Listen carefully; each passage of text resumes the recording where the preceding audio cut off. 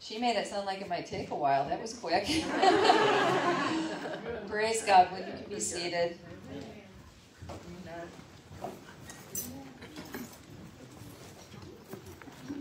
I come ready tonight Amen. with all my markers. And um, we are going to, I've known for several weeks that I wanted to talk about the miracles of Azusa Street. And I find myself, of course, I've been reading it for a while, and you hear me refer to it from time to time. And so some of you may have already purchased the book, but we do have these available now. It is April's book of the month. You're not going to have any trouble reading this book. I mean, I've read through it several times, and I have a hard time putting it down. So um, make sure you get it, make sure you read it, because this book is going to help usher in some things that God has for the church. And let's turn let's start out tonight turning to Matthew chapter 5. I'm not necessarily going to read a lot of scripture tonight, but I am going to read some stories to you and discuss some things. So I hope you came alert. Yeah. And I know how it is after working all day and it gets cozy in here. If you fall asleep, the person next to you is authorized to sprinkle you with water. and you might think, oh, it's the anointing.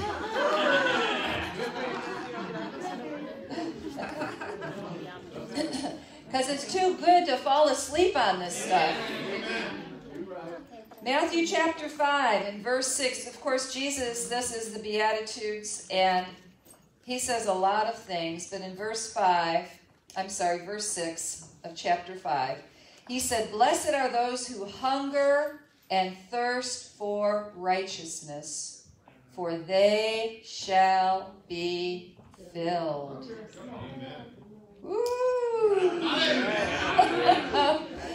Do you realize what filled means? the Amplified says it this way Blessed and fortunate and happy and spiritually prosperous in that state in which the born again child of God enjoys his favor and salvation. Now, that tells you a story right there. Mm-hmm. That a born again child of God ought to be enjoying their salvation, Amen. enjoying their favor. Yeah. They ought to be happy. Yes. At least try to look happy. Right. You know me, it doesn't take much to make me laugh. I, I love that movie, I'll Be Home for Christmas, uh, with Jonathan Taylor Thomas. I've told the story before, and this guy is driving a van and almost runs him over. And the guy is just like, oh my gosh, I almost ran, or I, I gone ahead and killed Santa. he didn't have all his marbles up there. So at one point, they're driving this van. And uh, he's speeding, and a cop starts pulling, you know, coming behind him with the siren going. And so they're going to pull him over, and he's like, "Oh no, I'm hauling stolen goods." and so Jonathan Taylor Thomas, who's dressed like Santa, not because he wants to be, he's got the Santa hat on. He says, "Oh, don't worry about this. I got this. I'll I'll just tell him we're you know doing good deeds for children." And so he happened to have this elf hat, and he said, "Just put this on." And he puts the elf hat on, and he said, well, what am I supposed to do? And he said, Just act happy. and then all of a sudden he makes this weird look like, and you have to see it. How many ever saw that movie where he makes that face? Oh my gosh, that was priceless. I just thought that was so hysterical. So, we're supposed to at least look happy. That was the reason I told that whole story. You're a child of God, look happy. Amen. The rest of the Amplified says, uh, are those who hunger and thirst for righteousness, uprightness, and right standing with God, for they shall be completely satisfied. I'm not completely satisfied. Not yet. But we will be. Especially as we see more and more of what God has in store for us before Jesus comes back. So I'm going to start out tonight reading to you from page 29 in this book. And what this is, is the prophecy, uh, 100 year prophecy, they call it. It said sometime in 1910, Seymour, William Seymour, of course, was uh, the main preacher that facilitated the awakening at Azusa Street. It says Seymour just stood up on the stage, took the box off his head. You'll get when you read the story, you'll understand. He used to come out with a box over his head. Very peculiar. But the Lord let actually led him to do that. And for two reasons. First of all, it would keep all the distractions out. Secondly, it sure would humble you fast. You, are not going to come out there on the stage thinking you're all that with a box on your head. and when he sensed it was the right time to take the box off, now this is how I know it was God the miracles. And of all the miracles that took place there, the ones that were performed by Seymour were the greatest and the most profound. But when you read that book and you see what was done by the average teenager, hmm. you can just imagine what Seymour must have been doing. Okay, so he took the box off of his head and started prophesying, and he said in about a hundred years there would be another revival like Azusa Street. Only this time it would not be in one place. It would be all over the world. There would be a return of the Shekinah glory and the miracles. Now, for those of you that might not know what the Shekinah glory is, the glory of God would be in manifestation in that place every day like a thick cloud, like a mm. mist. Mm. And all of these young people saw it. See, this was a, an awakening that didn't just have one or two people that saw things. They all experienced it. They would these kids would play in it. Hmm. Can you imagine playing in God's glory? Wow. Now, this is the prophecy that there's going to be a return of this Shekinah glory and the miracles. This revival would not be with just one person or just pastors, it would be with everybody in the body. This time, the revival will not end until the Lord returns. Wow. Seymour repeated this revelation more than once. All the saints told Tommy this prophecy. Now, Tommy Welchel is the one who wrote the book. What you'll find out is when he was about 17 or 18, he met, um, he was a troubled child on the beach somewhere, uh, drug and alcohol problems. His dad was a moonshiner and had started putting hard liquor in his bottles as a toddler. And so he was definitely a troubled person that got into trouble. And he came across this precious old lady saint who was probably in her 60s, but he called her old because he was 18. you know, we're not old in our 60s, right? Or 70s or 80s, but. And somehow or another, she ministered to him and got him to pray with her, even though he said everything in me wanted to resist her. He couldn't. And she took him back with her to a place called Pisgah. Well, Pisgah, if you read your Old Testament, was the mountain that God took Moses up to to show him the promised land before he died. And this place in California, I'm not even sure if it's still there today, uh, the Los Angeles area, was a place that was built uh, the, in the late 1800s uh, by a Dr. Yoakum, who also has an astounding testimony, which you'll read in this book. Uh, he was in his day, he was a brain surgeon. Can't even imagine in the 1800s. Making $15,000 a month wow. in the late 1800s. Wow. And he gave that up after he got saved and spirit filled. You have to read his story. But this particular doctor gave his life to the work of the Lord and started this place that was for people to rescue people that were on Skid Row and gave them a new life. And so over the years, uh, some of these young teenagers and people that were in their early 20s during the Azusa Street Revival, which was like 1905, 1906 to 1909, something like that. I think it was 06 to 09. Mo- uh, many of them retired at this place called Pisgah and lived there in their 70s and 80s and 90s. Hmm.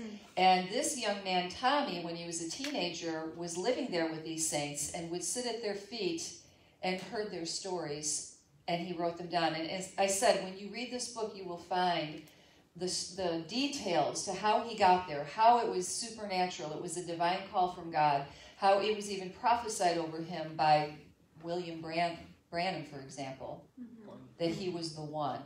Like these saints wouldn't tell their stories to uh, famous people that wanted them. They just wouldn't tell it because they all had this revelation that there's there's one that we're supposed to save this for. And they didn't know who it was till he got there, but it was this young man, Tommy. And likely because of his age, because he could carry it for many more years to come. I'm not sure if this man's alive today, Tommy Welchel. He may have passed away recently. Uh, but anyway, so I'm just telling you that filling in a little bit of the blanks here. So this is Tommy who wrote the book. So all the saints told Tommy this prophecy. On the opposite coast in New York City, according to Charles Parham's granddaughter, Parham just stood up one day and declared the same prophecy using almost the exact words. So it's happening in LA and then it's happening in New York the same time. They both pronounced that this modern day outpouring would surpass Acts 2, Topeka, and Azusa. Celebrate. We are now in the hundred year period, and you are alive in this time. Amen. According to Jesus in Luke 10 24, we are the envy of prophets and kings to see such an outpouring of the Spirit. Now, I just happened to read this scripture to you several times in the last few weeks. Jesus said, For I tell you that many prophets and kings wanted to see what you see, but did not see it, and to hear what you hear, but did not hear it. The hundred year prophecy is coming to pass, as you will see uh, in the following chapters. The telling of these stories has triggered this next mighty move of God and fulfilled prophecies spoken over Tommy decades ago. He was prophesied over by William Branham, by Tommy Hicks, by Jean Darnell, who happened to, um, when Aimee Semple McPherson went to heaven, Jean Darnell took over as pastor of that church and she was still alive and pastoring at this time when Tommy was 18 at Pisgah. So he met all kinds of people. He's been on Sid Roth's program in the past. He's uh, got to know Billy Brim, who has uh, Prayer Mountain in the Ozarks in Missouri. And um, it's just, a, you're not going to want to put the book down. Okay, so the Lord just put it in my heart weeks ago to read you some stories out of this book. And you know, as I got to the very end of the book, after I already planned to do this, then he shares some testimonies of preachers who read these stories from the book in their churches. I thought, wow. So I didn't get the idea from the book, it came from the Holy Spirit. And he said, everywhere these pastors read these stories, miracles broke out that you know the glory of God would come in manifestation and things would happen. So I can't promise you anything tonight. Everything's as the Spirit wills, but I just know that we need to hear this. Now he would sit at the feet of these saints, as I said, and they would usually give him chocolate chip cookies, something homemade and milk, you know. And anyway, it says here, just to give you a little history of, of William Seymour. Seymour was blind in one eye and the son of slaves. He listened and learned about the Holy Spirit from Charles Parham, who preached in a suburb of Houston called Pasadena in Texas. By the way, Pasadena is where the Goodwins pastored, which we've, hmm. we've mentioned before. Seymour sat outside the sanctuary and listened through a crack in the door. He couldn't go in and sit with the congregation because of his color and the Jim Crow laws. But hmm. Seymour did not get mad. He just sat outside and listened. He wanted whatever they had, and he got it. In a short time, now see, here's the point of that. Offense will keep you from getting what God has for you. We can't control people, we can't control wicked men, but we can control what we receive. And it says, in a short time, Parham would be sending people like John G. Lake and F. F. Bosworth to Azusa Street to come under Seymour's anointing before they went into the mission field. Wow. He would tell them, before you go overseas as missionaries, go to Azusa Street and make sure you become friends with Seymour and make sure you hang around him, Parham instructed. Get all of his anointing that you can. God loves irony. The black man who had to sit outside of Parham's doors became the man whom everyone sought. The world came to Azusa. The segregation that Seymour and so many sadly experienced stands in great contrast to what Azusa Street became in that same period of history. So you have to mm-hmm. understand yeah. the miracle of this whole thing for that hour and that right. day. Yeah. It says Azusa Street was the first fully integrated church in America. Wow. Seymour also became fanatical about it. When he would come down from his apartment above the church, if 20 or more of the same color were sitting together, he'd split them up. Amen. He wouldn't tolerate it. Yeah. He said we were to be one in the Lord. Amen. He went as far as saying that once a person becomes a Christian, he or she becomes a new creature that never existed before and belongs to a different race, the Christian race. We stay the same color, but we are all one race. That's right. In fact, when the saints told me their stories, they never mentioned the color of the person they healed, ever. Yeah. It's as if everyone was colorblind. Frank Bartleman said it simply the color line was broken by the blood. I just wanted you to see the power of the glory of God. How there is nothing that can stand in the way of the, of the, the glory. And see, today we're seeing that spirit, uh, that divisive spirit of racism has been so strong. And it's, it's not, you know, there's a difference between uh, doing the right thing in life and the, the spirit that's behind it. Let me try to put it that way. And um, that spirit that we're seeing so strong today is the opposite of the spirit of Christ. It's an antichrist spirit. But you see, when you get the power of God and the glory of God and the miracles of God flowing, all of that just comes to nothing. Because God is love. And where his fullness is, there's a fullness of love. Another thing that was interesting um, all of these saints said the same thing. Whenever the people worshiped by singing in tongues, the power was greater and the anointing fell on the service. Okay, here's something that's going to interest you. He's, he, each chapter has a title. Like this, for instance, says, What's in a Name? Say hello to Sister Lucille and Sister Laura. Azusa ages 18 and 16. Now, of course, they all were called sister and brother, and these women all had their Pentecostal buns. and he said they even wore those those um, mob kettle boots with the hooks and the, you know, in the 60s. So, okay, now this is a true story, guys. Television star Lucille Ball wanted what Sister Lucille had, her last name. Sister Lucille's last name was McGillicuddy. Lucille Ball paid Sister Lucille handsomely to use it as the maiden name of her television character in I Love Lucy. Isn't that interesting? So she paid, I don't know how she heard of Lucille McGillicuddy, but I'll tell you what, uh, so much was happening at Azusa that um, word spread and even famous people were touched by this revival. But her name is not all that she is remembered for. Sister Lucille McGillicuddy made quite a name for herself by becoming the secretary for Aimee Semple McPherson and her successor, Jean Darnell. Before that, she was one of the youth who impacted the lives of many during the Azusa Street revival. I met Sister Lucille at Pisgah, and she couldn't have weighed much more than 90 pounds and stood under five feet tall. She was very slender and petite. Like many of the Pentecostal women of that day, she had long hair that almost touched the floor, hmm. but wore it in a glory bun held together by a host of hairpins. and if they got to dancing, you know what happened to those hairpins. you remember Dr. Dufresne's story of the woman that played the Hammond B3, and she had the glory bun that kept flapping all over the place?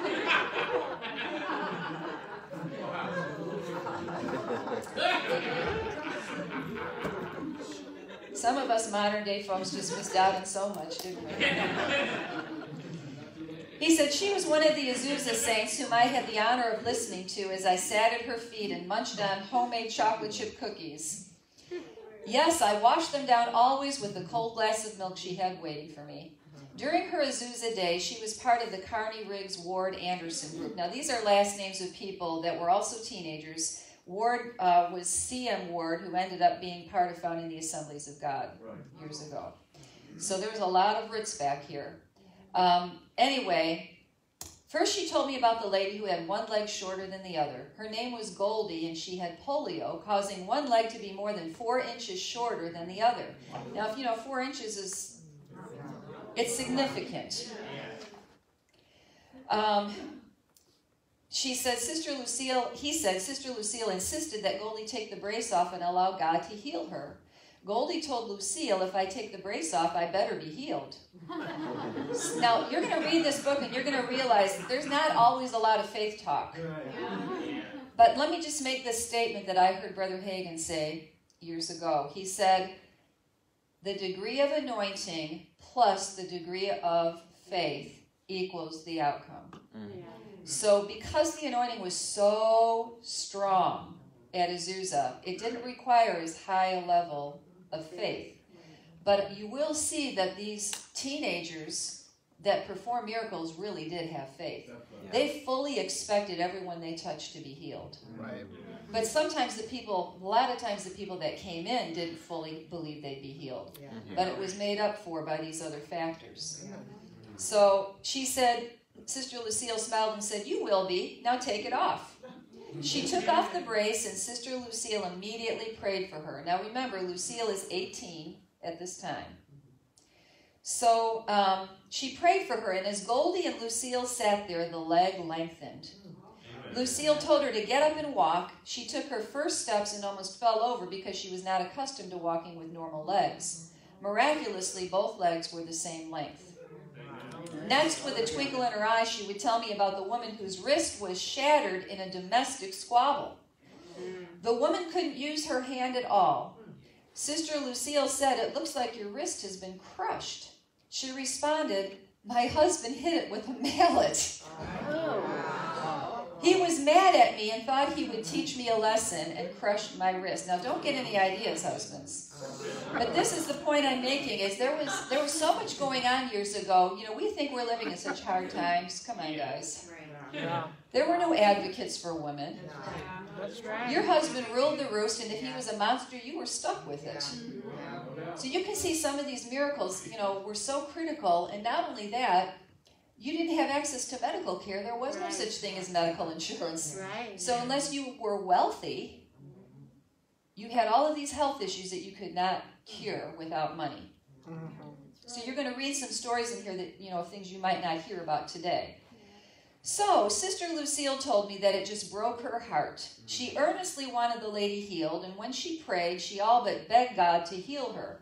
After her prayer, she said to the wrist, I say in the name of Jesus, you do what I told you and be healed. Amen. Immediately, the lady's wrist was totally restored. Sister Lucille's next story was not a cookies and milk story. It was a more like toss your cookies story. She would tell about the miracles performed on people who had very bad teeth, and usually I would lose my appetite. Now think about this: you didn't have access to dental care like today. And you know, even if you look at old movies, nobody's teeth were ultra white. I heard it said somewhere that Europeans can always tell an American now because their teeth are so white. Yeah. Now, you know, when you look at old movies, nobody's teeth, even in the 80s, yeah, nobody's teeth were bright white because there was no such thing as whitening. Yeah. But then you also always saw people with teeth missing. Yeah. I mean, all and crooked, very crooked. You know, I have grandparents and uh, great uncles and aunts and uncles that had terrible teeth, yeah. and that was pretty common.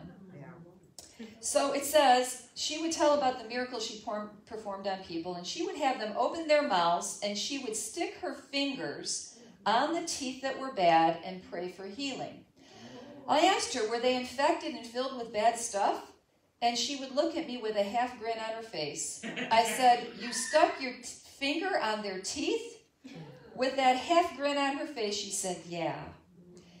Well, what if there wasn't a tooth there? I would ask playfully. Sister Lucille took her story over the top.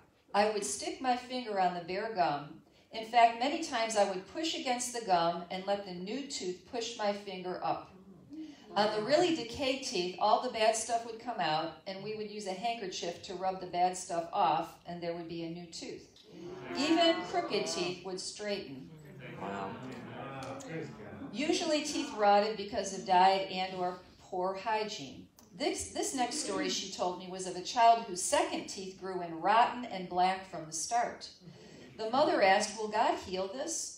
Lucille said, God will heal anything, and I love praying for teeth. Mm-hmm. Lucille brought the girl over to her and asked others to get a handkerchief and a cup. Lucille took the handkerchief and laid it over the child's mouth. She prayed, and then a handful of blackened teeth just dropped out of the girl's mouth and into the cup. Can you imagine what that this girl is thinking as this little woman is taking out her teeth? Completely toothless, the child just kept looking at her. And Lucille told her, Now, Jesus is going to give you a new set of teeth, and we're going to have fun getting them in there. She went through the child's whole mouth, pressing on her gums, and teeth grew in one at a time. She could have had them all done at one time, but Lucille wanted to play. Oh you know, think about it. They weren't fast, fast, fast, fast, fast, fast, fast moving society either, like we are today. They had three services a day at Azusa, and some of these teenagers were at all three, five days a week. So, anyway, um, she said that little girl's teeth grew in perfectly. Did it hurt when the rotten teeth were coming in? I asked. Lucille said the child felt nothing. However, when the new Jesus teeth came in, I like that, the little girl said it kind of tickled. I just sat there shaking my head. Even though her descriptions of the teeth often caused my stomach to turn, I sat in awe at the miracles she described. She would ask me, Tommy, wouldn't you love to see those kind of healings in our services today? And I would just nod in agreement. Hallelujah. Hallelujah. What impressed Sister Lucille was that the miracles were not confined to Brother Seymour. She would comment, A little bitty woman like me could walk up and command a leg to grow out, and it would grow out. A busted wrist would grow back together. Rotten teeth would be replaced with brand new teeth, and missing teeth would grow back in. I asked her if she ever worked with someone who had all his teeth missing, and she said, No, I never tried that. I teasingly said, Well, you should have. And she rebukingly replied, I just never tried that, Brother Tommy.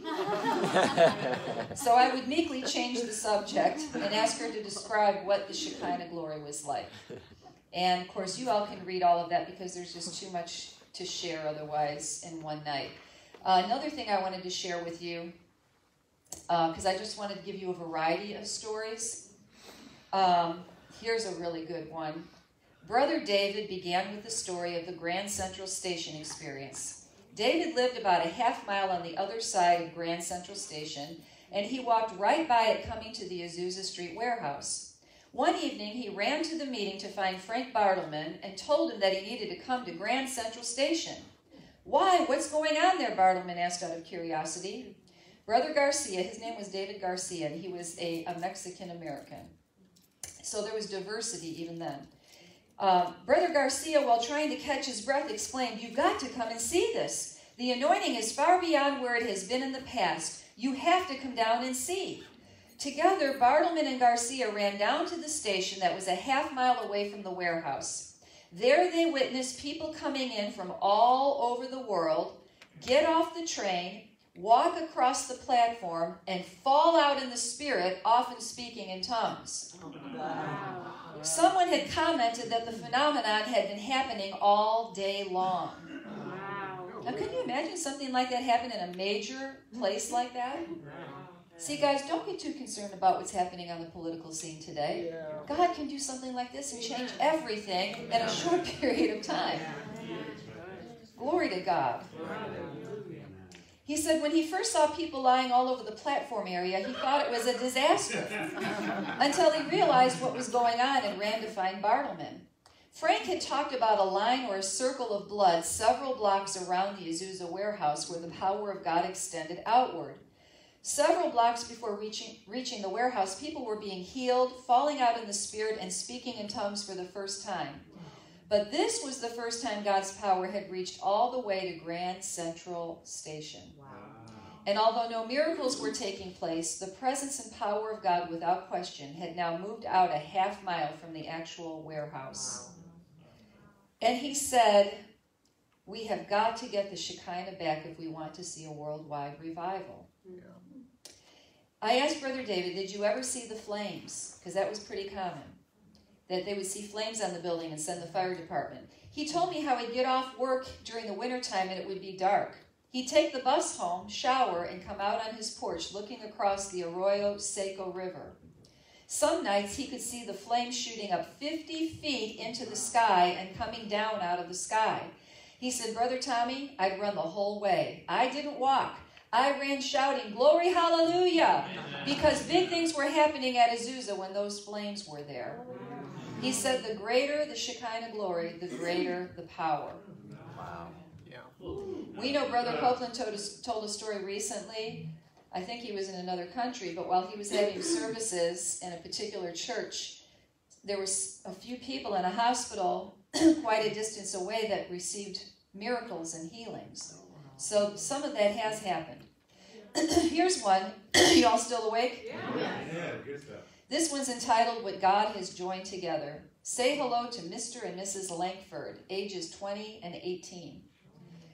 While most 17 year old boys chase after girls, Brother Langford pursued God.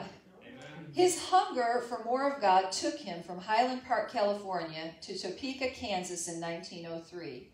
This was the city in which Dr. Charles Parham had started a Bible school where he taught the new concept, the baptism of the Holy Spirit, accompanied by the gift of tongues. Now remember, Dr. Parham was Brother Seymour's pastor in Pasadena, Texas. So under Parham's witness, Brother Langford received the baptism and the gift himself. Uh, he returned to California in 04. He was introduced. Uh, he introduced this new teaching to Dr. Yoakum, who's the one who founded Pisgah. So all these people are connected. And then eventually, when Azusa started, he found himself there. Now, he told this story about, uh, first of all, a man who had gotten two fingers caught in some type of machine.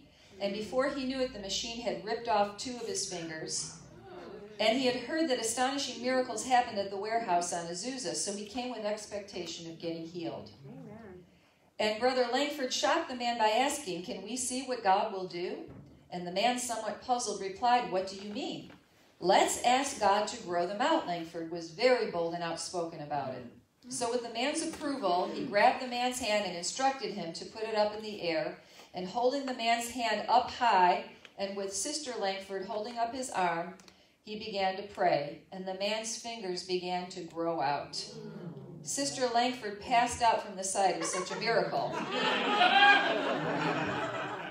So Langford started taking the man around, shouting that his fingers had just grown out. these weren't here before. Look, God grew out these fingers. You know, when you look at the picture, uh, which I think there's a picture like at the beginning of each, chap- each chapter in black and white, the building at Azusa is not a huge place. You just wonder where all the people were packed in. So this this chapter is kind of fun because there's a lot of different miracles in here. Um, this is a memorable miracle they had. A lady had a very bad hunchback. Her back didn't just curve over, but it was twisted. She was probably around 50 to 55 years old. And she told Sister Langford that the problem had started when she was about 30, and it had just gotten worse and worse. And the doctor wanted to put her into a nursing home, and even though her husband agreed, uh, he agreed because she could hardly get around. Well, her husband brought her to Azusa, thinking that maybe God would do something at the revival meeting. So Brother Langford came over and laid his hands on the hunched back and started praying for her. And you could hear the popping of the bones. Within minutes, right before their eyes, she was healed. And she broke into dancing and even went up onto the platform dancing and screaming. Hallelujah. And of course, it would just start a whole praise service. There was another man who was crippled in a wheelchair and he wouldn't let the doctors cut his legs off. He explained that he had worked as a brakeman for the railroad and had been crippled in an accident uh, when the train pinned his legs down and broke many of his bones.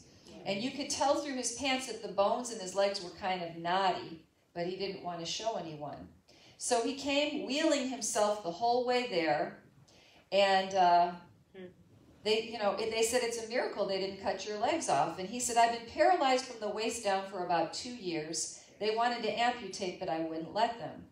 So before Langford started praying for him, and Sister Carney, who was observing, broke in and corrected him. Now, Sister Carney started this principle that they all had to keep that if you're going to pray for someone in a wheelchair, you always have to pick up their legs and put the footrests up so they can get up because they are doing this with expectation. And she expected him to get up. So after they did that, he prayed for the man, and you could hear the bones cracking and see the legs just straighten up. And the man got out of his wheelchair and went flying. It's no wonder they had such a revival. No wonder this thing went worldwide. Yes, they received the speaking in tongues, and that was great. But many of the miracles that were performed were not done by big preachers. Hmm. Many of those being used by God were just ordinary teenagers and young people doing extraordinary works with God. Glory to God. Here's another thing. He was blessed with the great gift of helping people who had cleft palates and lips to receive healing. The majority of them were children. You know, that was a lot more common than it is today. And uh, they didn't have the, the high technology surgeries. I mean, they still have them today, but. So it says some of those who came there uh, for healing had never had operations or medical treatment, and there would be big gaps in their mouths, and he would pray for them, and the gaps would be filled in. And sometimes some of their teeth would be gone, and the teeth would be restored. And he said that over the three year period he was there, that God used him in healing around 100 people with cleft palates. That's just one man, 100 people just with cleft palates. Because most of them were just kids, he became known as Papa to the children he healed. When they'd come back to see him, he was Papa. Now, here's a, here's a story that's a little bit on the interesting side, but I thought you'd enjoy it. He says, Now, this is the mm-hmm. first time I've dared to tell this next story.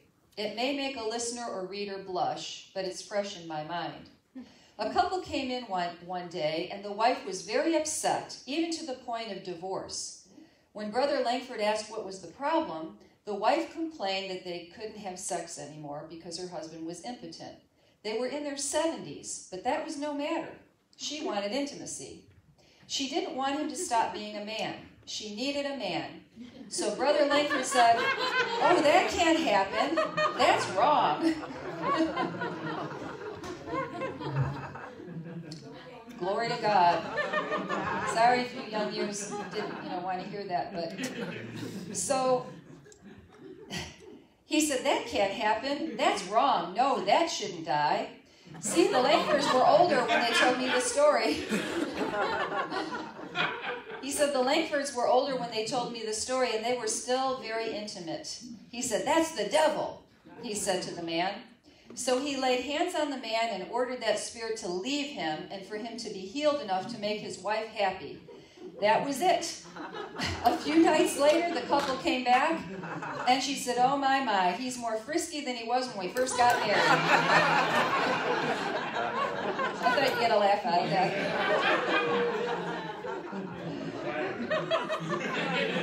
Better watch what you pray for.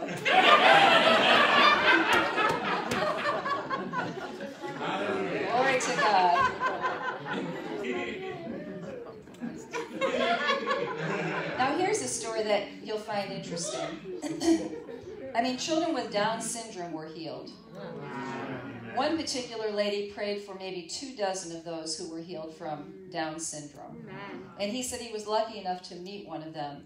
And even though he still his face had the characteristics of someone with Downs, he acted completely normal. And that was, you know, 50 years or plus later, 60 years later. Uh, here's another story. He said, This next story surprised me even more. I still marvel when I think of it. One day, Sister Dundee found a horribly disfigured child around five years old amongst the people at Azusa Street. He had scars all around on his head.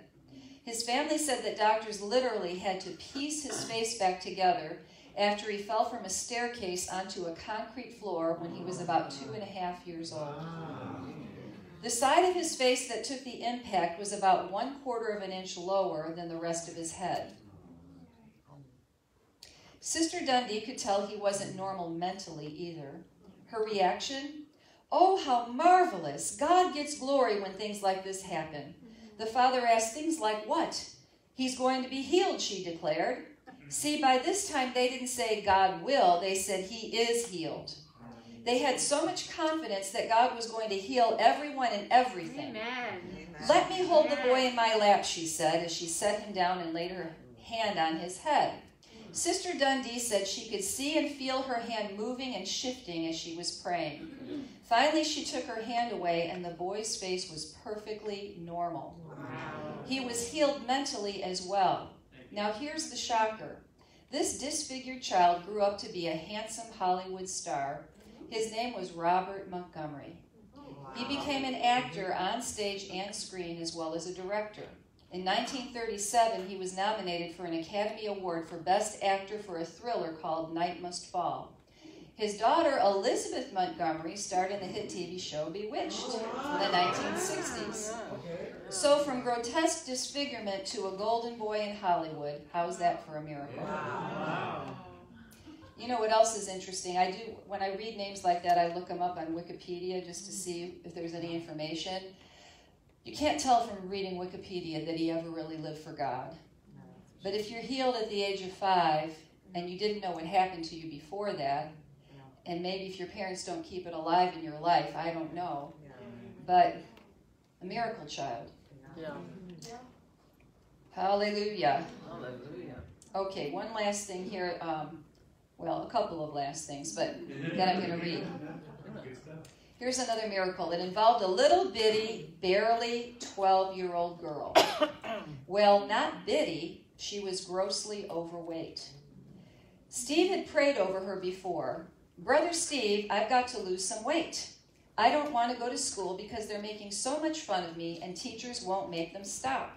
Now, this is 1906 to 1909. Bullying has been around forever, guys. He said, Well, we'll pray for you and see what God will do. He prayed for her again and then he went on to someone else. I kept glancing over at this child. I watched her shrink. Now, wait a minute. This story that I'm telling you, Tommy actually witnessed this in 2012. Okay? I watched her shrink. She shrunk to a perfect size and a very cute little girl. And when she stood up, her blouse looked like a tent on her, and she had to grab her pants and hold them up with one hand. so now, towards the end of the book, he's telling more modern day things that happen, and you'll see when you get to it that this wasn't just for Azusa Street.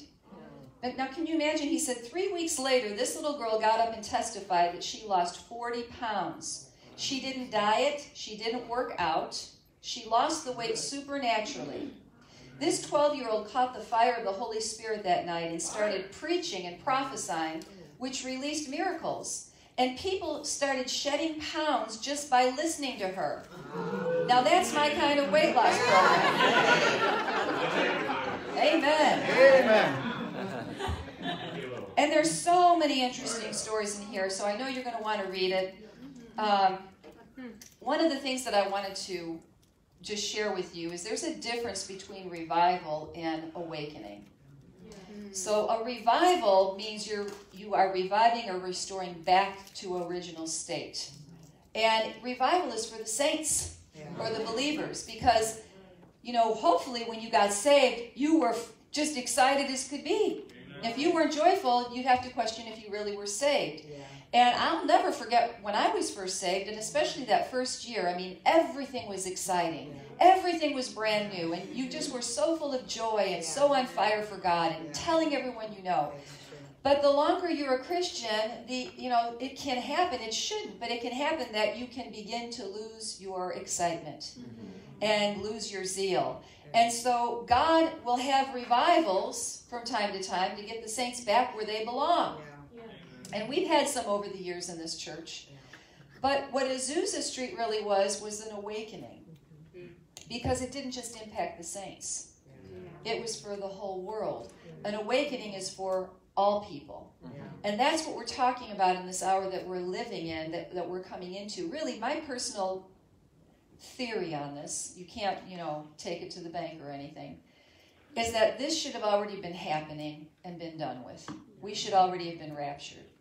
But somehow or another, the church got behind schedule in cooperating with the Spirit because now we're beyond 100 years. If we're talking 1909 or let's just say 1910, then by 2010 would have been about 100. And here we are in 2021. So, church has to get with it. Now, there are things going on in other parts of the world, of course. One thing that uh, Tommy Welchel said is that we don't have to contend to have the hundred year prophecy fulfilled, but we have a part to play.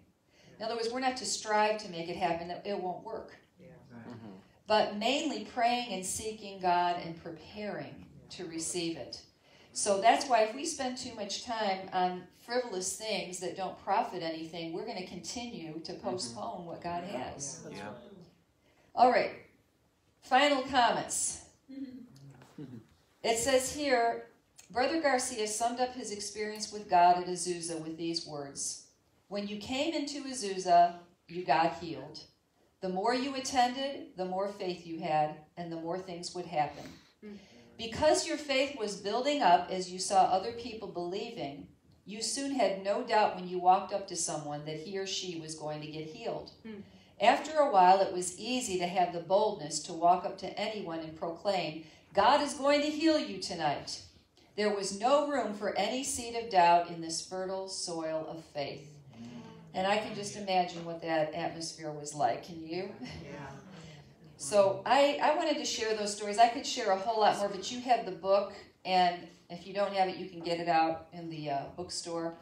And then also, I wanted to encourage you tonight with a song. We're going to play a song that Brother Trevor Woods wrote. He, um, this is on his second album, which we don't have for sale, but he, this is what I would call a spiritual song. When he, um, when Pastor Nancy or someone is ministering, but primarily Pastor Nancy, he'll get songs from the Spirit of God on the spot that help reinforce the message.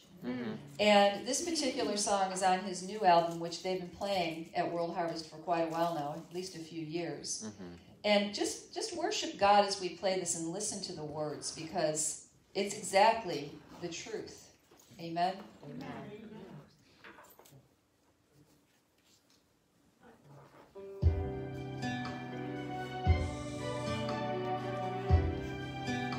loud enough for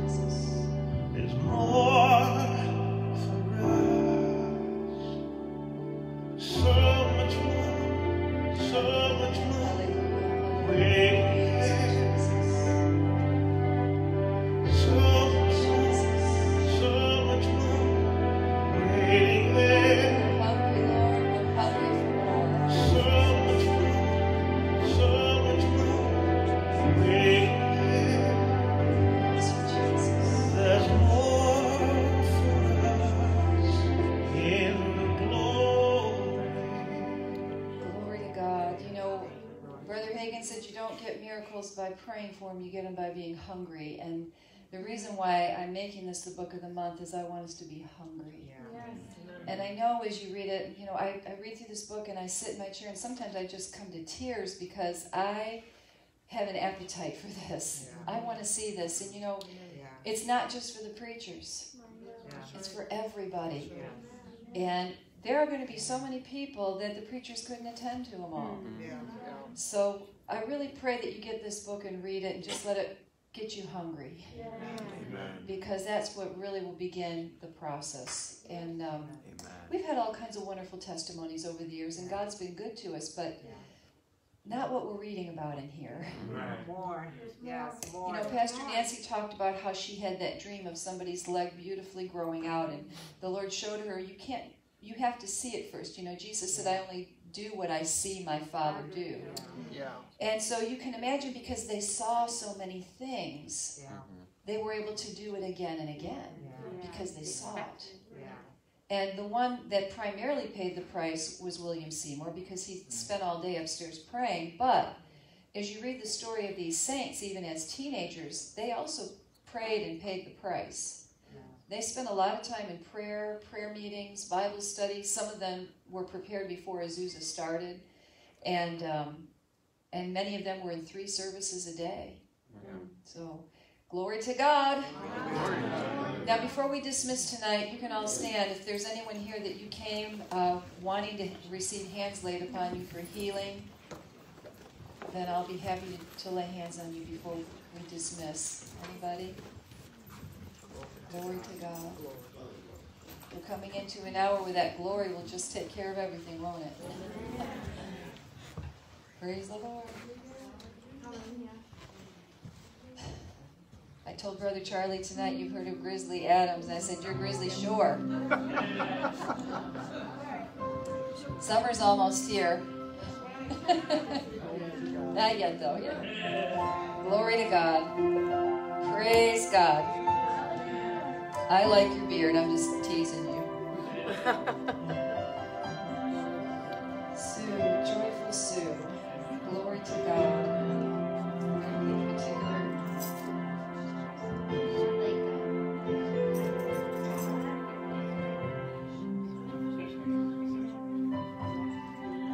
Oh, okay. Time for a miracle. Let's all reach our hands forward. Father, in the name of Jesus, we agree together release our faith for a miracle in, the, in this jaw and in her teeth.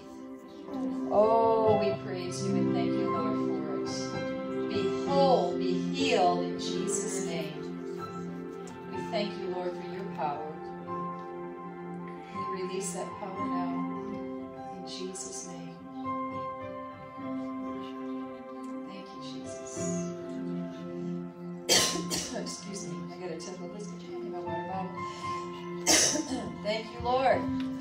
know, Sue, as you came up, one of the stories I thought of that I just read today.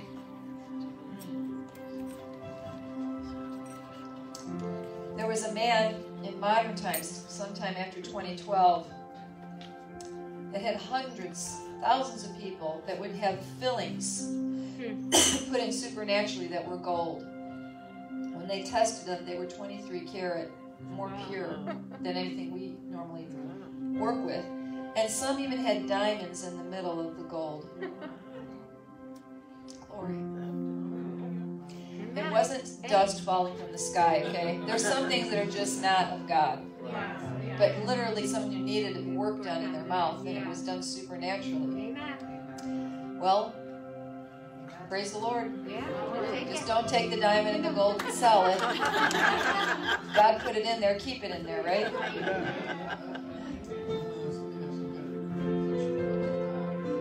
Like infection or sty. No, no more. Jesus' name. I curse that thing and command it to go and don't return. Satan, take your hands off of him. Be whole in Jesus' name. Thank you. Thank you, Father. No more, no more. In Jesus' name. No more. For whatever's going on here. Look what Brother Charlie got for his birthday. But you know what he's going to get for the day after his birthday? Healing.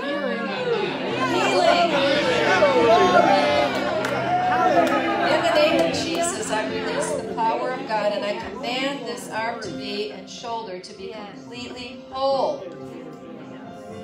Be healed, be restored to normal, and be a sign and a wonder in Jesus' name. Amen. Amen. Hallelujah. Glory to God. Glory to God. Amen. Oh, okay. Everybody stretch forth your hands. Another teeth jaw miracle. In the name of Jesus, I thank you, Lord, for working in this mouth. Moving, restoring, repairing in Jesus' name.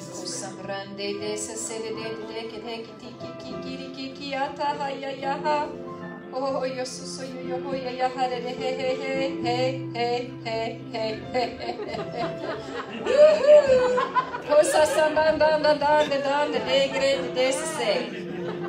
Behold in Jesus' name. Hallelujah. Thank you, Jesus. Thank you, Jesus. Thank you, Jesus. In the name of Jesus. Hallelujah. Glory to God. Praise God. There's an anointing there, so you're receiving. Amen. Oh, Thank you, Jesus. Oh, Brother Mike. Lots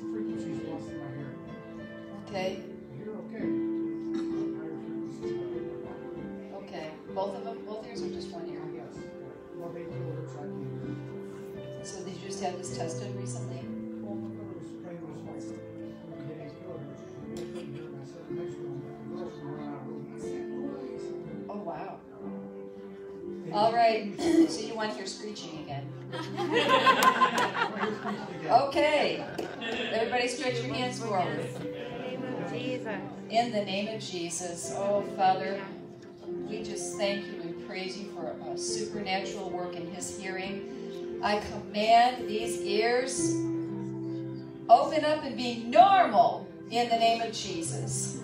In the name of Jesus. Ha ha ha. Devil, you're a liar. Amen. I can't hear that, but I can do it the phone does. Let's bring, where is that frequency? Will someone come test it on him back there? Whoever, was that Brother Ray that had the frequency? You know, if, if there's a gift of healing, which for ears, I have a gift of healing for ears, it should be working here. So I believe, I believe in the name of Jesus that the power of God is working. Amen. Amen. So he can hear me now. Yeah, he wants to hear you. Yeah, because you know this is a sad story. But when we were on Sherman, and I came back from the Philippines with that story about all those people that were deaf that got healed, and so I had an altar call for that. And one person who was a visitor that day did not answer the altar call, but while they were sitting there, their ear opened up, just popped right open, and they had been deaf in that ear for most of their life. Wow. But they never said anything until later when my husband saw them a few weeks later. And they said, Well, it opened, but I wasn't sure I wanted it open because my husband snores at night. now, that here just shows you the, the uh, mercy of God. That without somebody even engaging themselves to come up and receive, God opened that ear up as a sign and a wonder, and it's a merciful act. Yeah. But you can shut it right down by saying, I don't think I want it. So we're glad that you want to hear your wife's voice.